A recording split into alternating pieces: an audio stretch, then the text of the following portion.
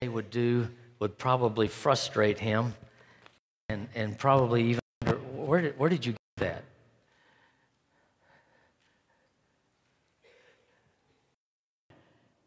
I'm trying to be a good little boy and stand still.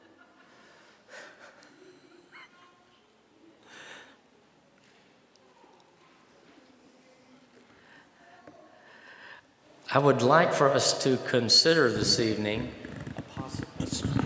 still this one, right? Okay. Uh, this, this morning, a story.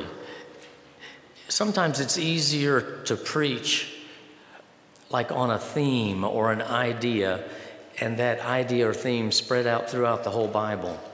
It takes a little more digging to find the goody in a little story or a setting and just stay with that passage. Good morning. Yeah, okay. You don't see his faces for a while, and it's good to see him back at home.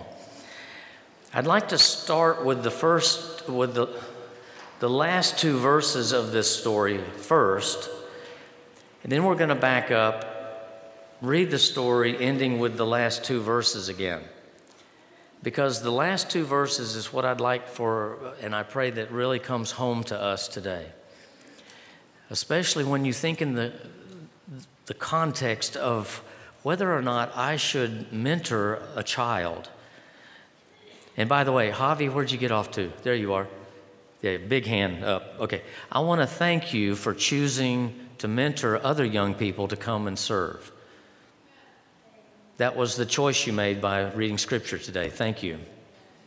So here we have an opportunity for not just adults to mentor young people, you're actually choosing to mentor like adults, or young people mentoring young people. This is what was the context of last Sabbath when talking about press together, press together, encourage each other. We're responsible for each other. So let's bow our heads.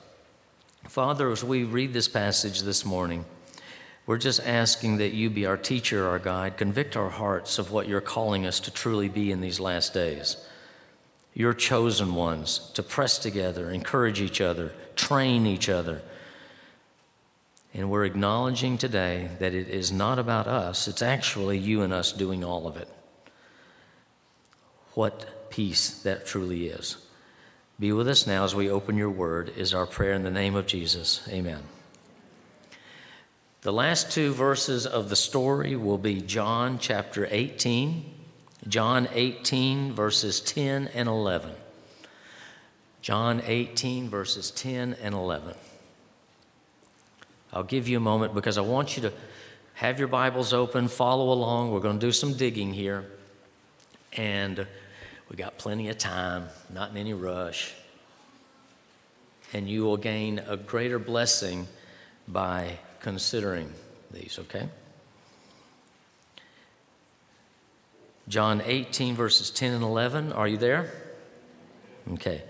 Then Simon Peter, having a sword, drew it and smote the high priest's servant and cut off his right ear. The servant's name was Malchus. Is that close enough? Okay, is Malchus. Then said Jesus unto Peter, Put up thy sword into the sheath. The cup which my Father hath given me, should I not drink it? Unusual two verses to consider today, but let's prepare us by setting, setting it in motion by the previous verses. I'd like to start all the way back in chapter 17 because John chapter 17, you probably are already noticing how many of you got red lettered editions and you think, oh my goodness, there's a whole bunch of red letters here in chapter 17. Some of you might even have a subtitle here, like my Bible does Jesus' intercessory prayer. Most of us would consider this prayer as the garden that the, the prayer that Jesus said in the Garden of Gethsemane. Okay? So it's a wonderful prayer, just beautiful. But I thought I'd read just the last two verses to kind of set the tone of what Jesus was praying about. So I'm going to pick up his verse here, uh, his prayer in verses 25 and 26. John 17, 25. O righteous Father, the world hath not known thee, but I have known thee, and these have known that thou hast sent me. Isn't that a beautiful statement? Even though the disciples had issues, they were still learning. They weren't really in tune with what was about to happen, but Jesus was still claiming them as his. They understand, they know, they've been told. And I have declared unto them thy name and will declare it. He's not only has declared it in the past, but he's about to declare it even more. That the love wherewith thou hast loved me may be where? In them, and I in them. What a powerful prayer he's praying to the Father on behalf of not just the disciples, but us also.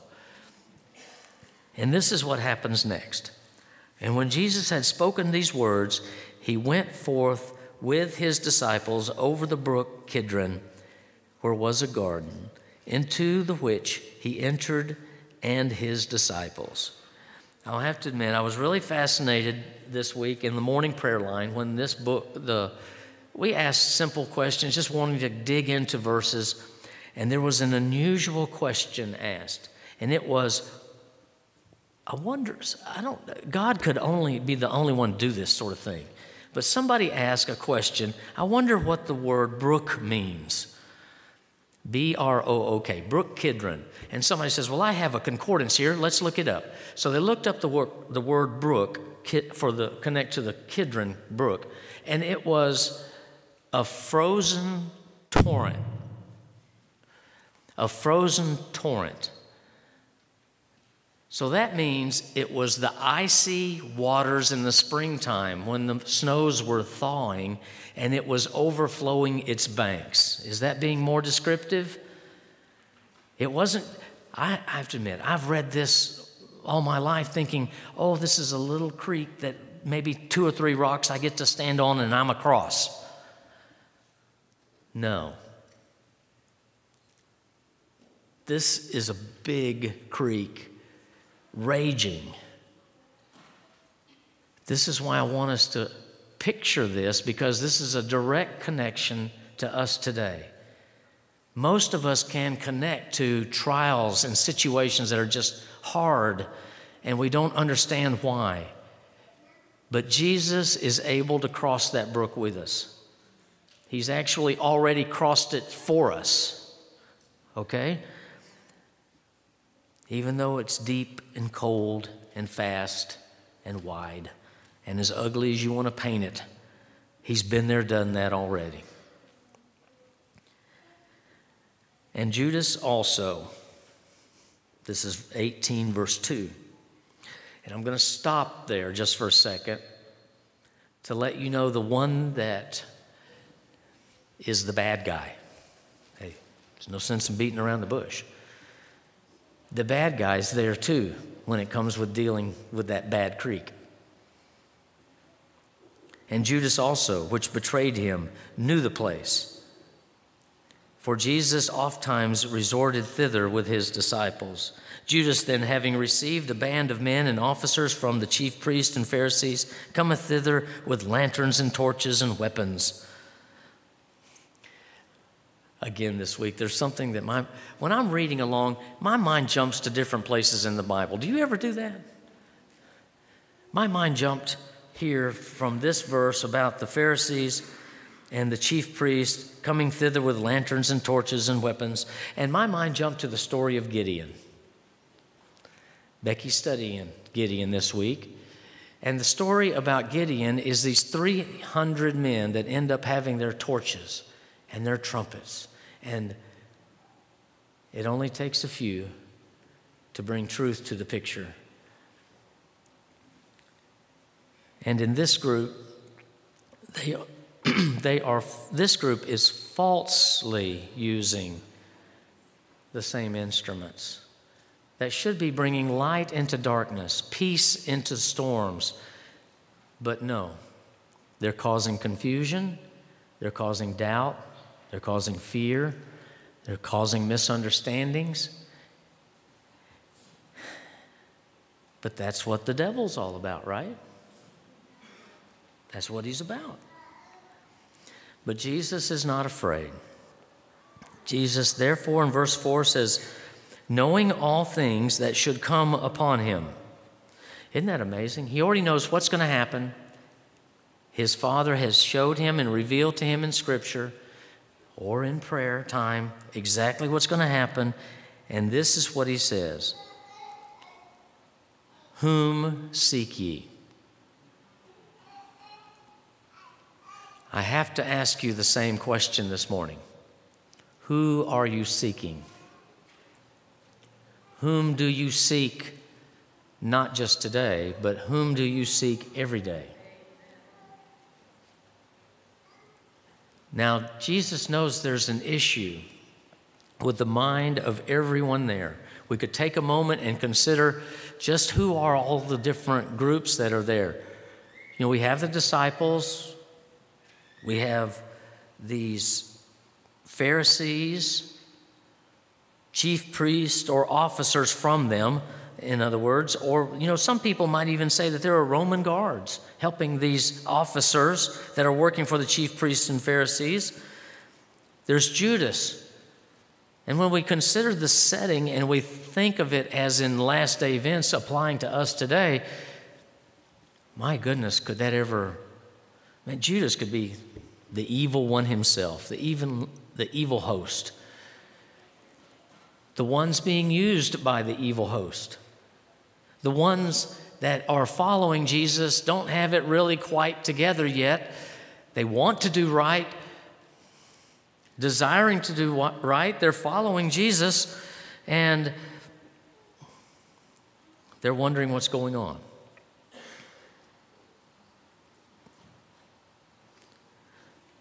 And to hear the question, Whom do you seek? could really apply to every living soul there. And they answered him, Jesus of Nazareth. Jesus said unto them, I am. I thought I'd stop because the little word he is a supplied word. For those men to hear the words, I am, He's claiming to be God.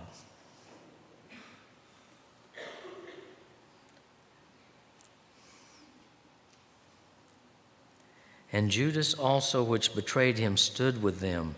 As soon as he had said unto them, I am, they went backwards and fell to the ground. What power my mind goes to the fact that they fell to the ground.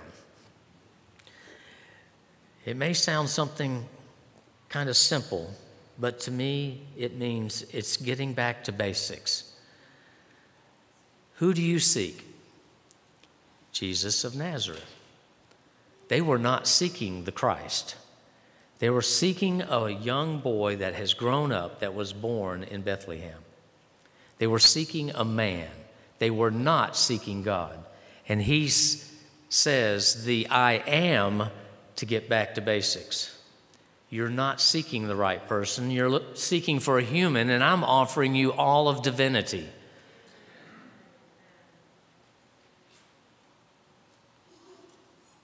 Let's get back to basics, shall we? I think this group did. They were not ready for what happened and they ended up on the ground. But once you're in that position, when you realize I need to be clear on the basics, Jesus knows that. He knows it in our hearts, in our minds, and then when He's got you where you need to be, now where do you need to be? I want to make sure you're with me on this. Where do you need to be? Focused on the basics, foundational stuff. We're talking on the ground. I'm not saying, well, so and so got so sick, they're finally on their back, now they're able to look up. No, that's not what I'm saying. You've heard that said about people. I'm saying sometimes we need to get back to the basic message so that truth can be heard. So we're on the ground. And Jesus has got you right where you need to be. Because now he asks the question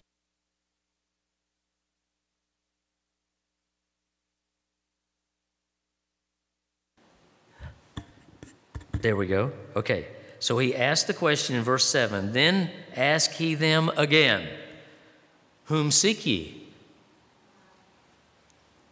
It's not too often he does it this way. He backs up and says the same question again. This time, hoping that the perspective is different. Now, whom seek ye? Now, even though they answered Jesus of Nazareth, he replies differently. Jesus answered, I have told you that I am. You notice I keep dropping the he because it's supplied, right? I have told you that I am. If therefore ye seek me, let us go their way.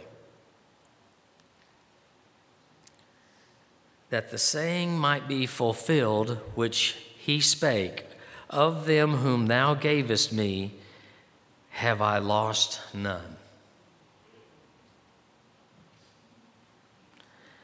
I would like to emphasize a, a little bitty, itty bitty, itty bitty word in that verse to make it big, big, big. Okay? In verse 9 there. Because the, the red letter part, at the last part of verse 9, of them which thou gavest me have I have lost none.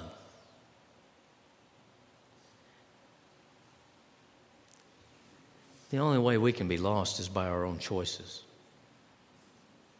Because the question can be asked when reading, well, what about Judas? Judas was given to Jesus? Actually, Judas offered his services. But that doesn't matter. He still loved Judas. He was the first person that Judas, uh, he washed the feet of Jesus, Judas first, and he loved Judas.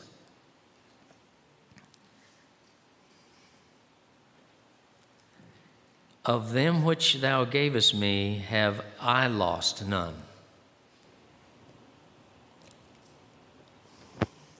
But then there's good old Simon Peter. Doesn't he just amaze you, the things he does and says? Then Simon Peter, having a sword, drew it and smote the high priest's servant and cut off his right ear. The servant's name was Malchus. Another fascinating thing that came up this week when considering the name of Malchus. Does anybody know what his name means? Hmm. king or kingdom. This is such good news for me. Even though I'm working for, say, one of the, what, what does it say? The servant's name. So he could have been one of the servants of the Pharisees, servants of the high priest, servants of Judas. I don't know. Anyway, he's not one of the disciples, right? And he's his name means king or kingdom. I don't know about you, but that gives me great hope that even though I might not know it yet, and I might be sitting in, a, in an unhealthy condition, like an unfaithful situation in my life, I'm discouraged, I have doubt, or whatever ugly you want to add to it, it doesn't matter to Jesus. You're still a part of his kingdom. Because this setting is in Israel. All of these different people that are representing different people in the kingdom of Israel, they're still all his children. Amen? We are still all his children, no matter if we're visiting from Kentucky today or what. I just made that up. I said, there's a lot of visitors here, so if one of you happened to be from Kentucky, God did that, okay? But the thing is, it doesn't matter where we're from or how we've been growing to get to the point where we are sitting in the pew today. Amen? Amen. So, Peter does something and his actions is, is, a, is a big boo boo, of course, right? He probably, of course, meant well, but he took a sword. Now, when we think of that word in the Bible, we think of sword of the Spirit, the Word, sword of truth. So, symbolically, Peter has taken this and damaged somebody's hearing abilities.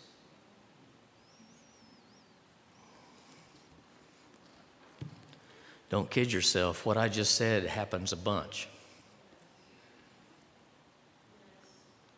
And the result from taking this and damaging another person's hearing abilities can definitely hinder the ability to hear the good news. Like in Sabbath school today, it was a privilege to not focus on the word war and focus on the word victory.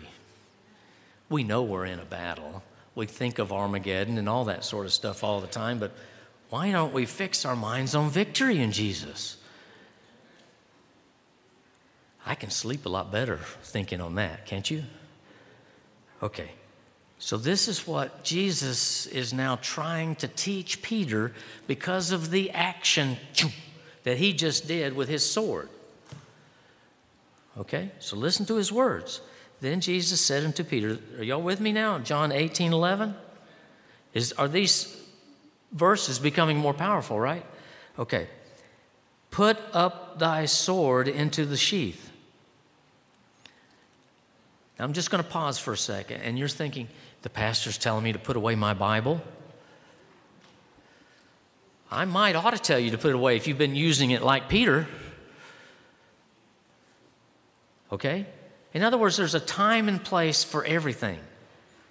These promises that you just pluck out of the blue, apparently there's a powerful time and place to use each particular promise, even. Like, wow, did I ever need that promise today? Sometimes Becky has her worship. You got to hear this one. And, I, and it just makes my day too. So here, listen to what happens next. The cup which my Father hath given me, shall I not drink it? You know, in his prayer, Father, if it be thy will to take this cup from me, he's talking about the whole crucifixion process. If there be another way, you know, not my will, but thy will be done. The cup which my Father hath given me. In other words, Jesus says, I'm accepting that cup now. I have received it from the Father. My faith is that I am to go through this.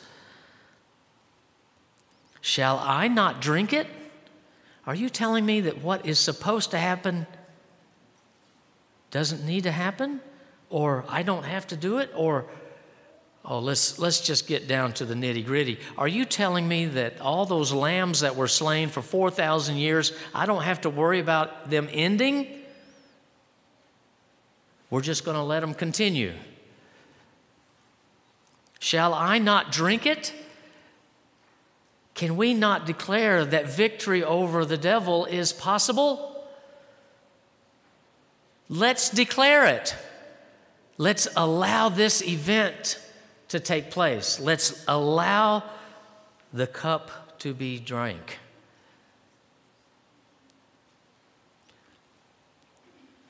This gets real heavy to me. Because I want to be a good mentor, don't you? You, like that idea, don't you? I, I mean, I have to admit that well, you already know this. You know, Becky and I don't have children, but we love working with children, and we love y'all. And the idea of, quote, being a hands on mentor, you know, I, I get my f- fix quite often at school. And even today, to have a young person come up to me, give me a big hug, and look me up in the look at me eye to eye and say, I want to thank you for praying for my mama. Hey, don't kid you, that'll make your day.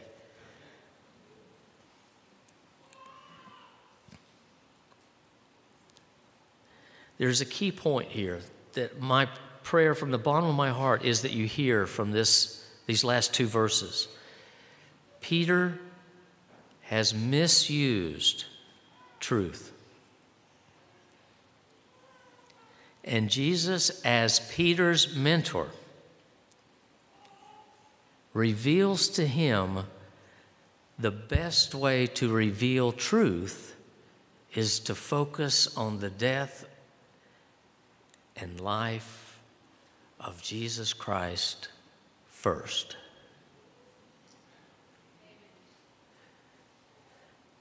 I need that to be heard. Because what I just shared with you will be your foundation for being a good mentor, a good parent, a good leader. The foundation to get across any point you ever want to put on paper or any point you want to think up. Whether, well, I'll get to that. Any point you want to think up that you want to get across to a young person you can do this through the power of Jesus Christ. That message about whatever you want to talk about must be preceded by the story of victory in Jesus at the cross. I think there was about two more amens that time.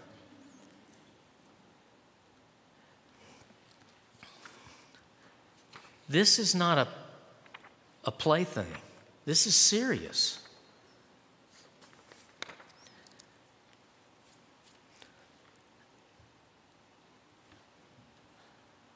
I'm about to do something because I don't want to be accused of something.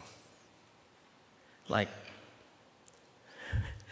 Marguerite, you're sitting up here by yourself. Becky was with you. You're up here. And, and if I turn my head over that way, you naturally know I'm looking at you, right? Yeah, okay. And so on and so forth. If I turn my head in certain direction, yeah, yeah I'm looking at you. Okay.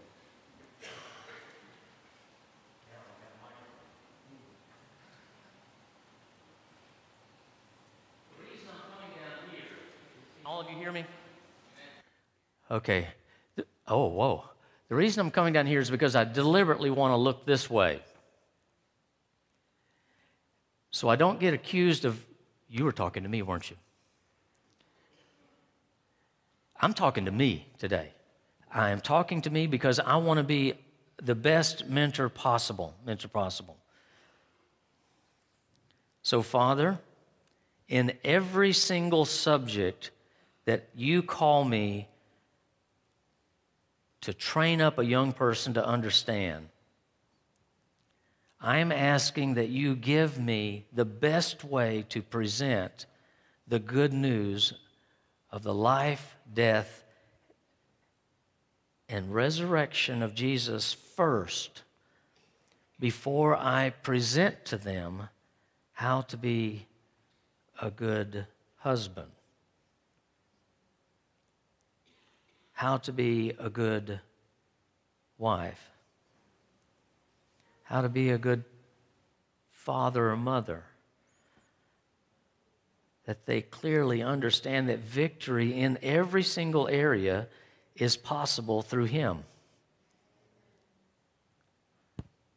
How to be a good, a good Sabbath school teacher. How to be a gentleman helping somebody at Walmart. how to be faithful.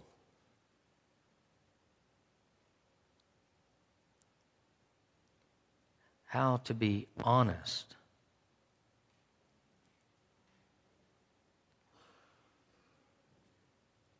How to be an encourager.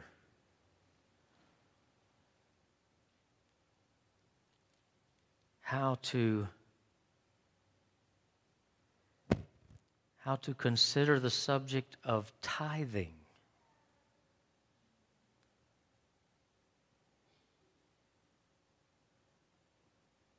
How to be evangelistic.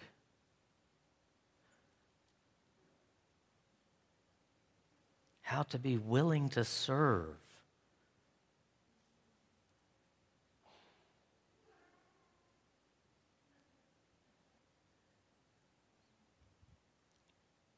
How to be used by you no matter any subject brought up.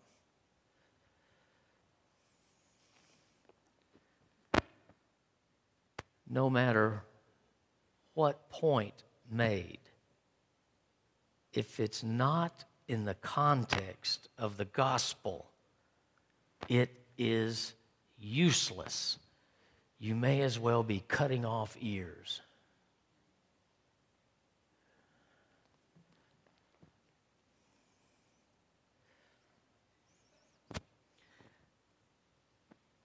I made a statement about one of those things I mentioned.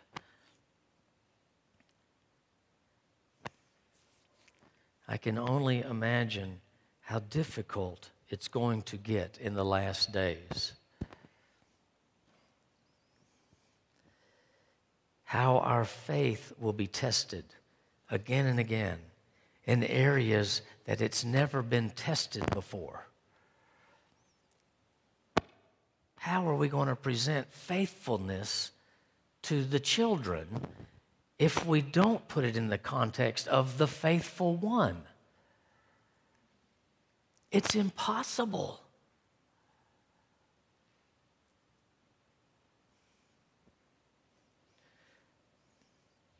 I know I look at things a little different.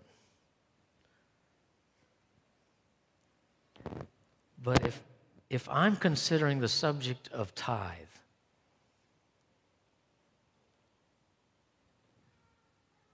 you know, it's, it's more than just a tenth.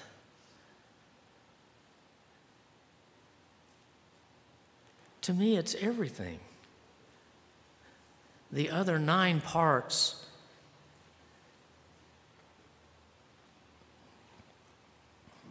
they're not mine either. Everything is His. I just have the privilege of yielding a tenth and watch Him grow the ninth into 20%. Way beyond.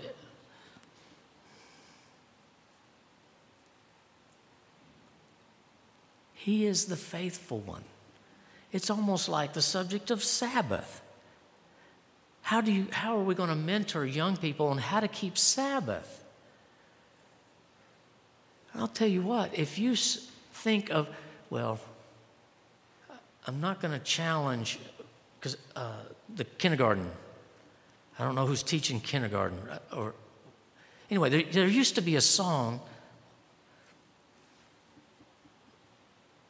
one day for Jesus, six for six for me, and one day for Jesus, or something like that. I mean, that's not a healthy way to look at it. Is that we're resting in Him. It don't stop today. Once we realize the importance of what we're giving to Him, we realize it's everything.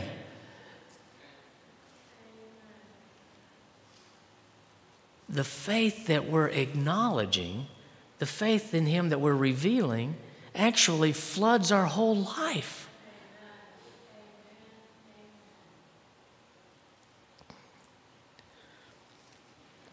How are you using your sword?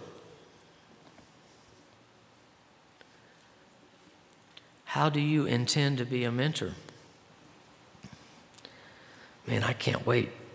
I'm looking forward for. Uh, there's a four young people I want to choose to mentor, and I can't wait to go to chill yogurt with them twice a week.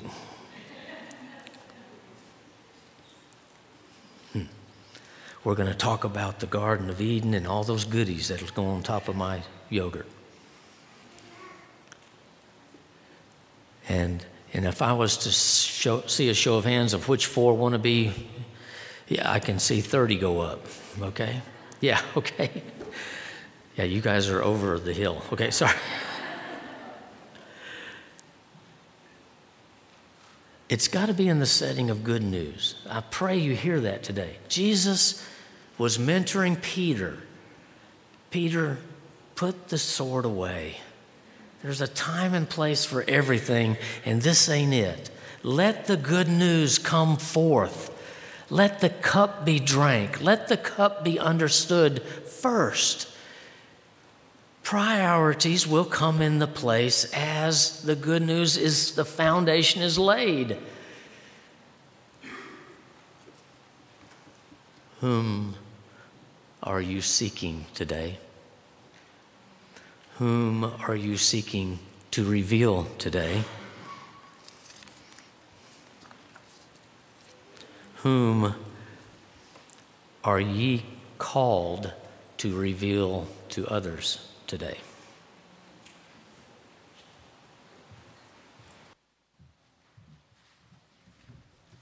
Please stand with us. Let's open our hymnals to number 249. Praise Him, praise Him. Please stand.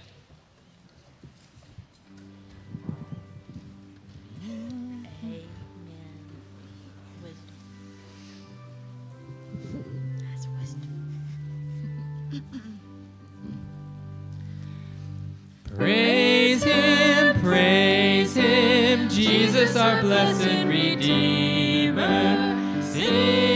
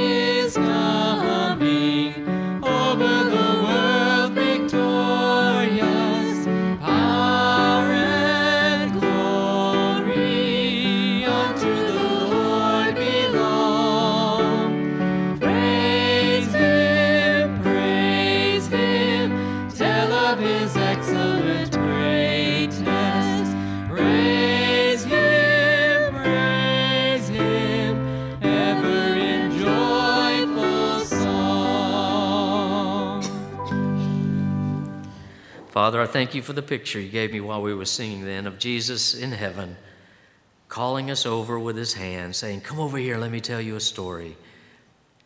And as he waves his hand, we see that scar in the hand.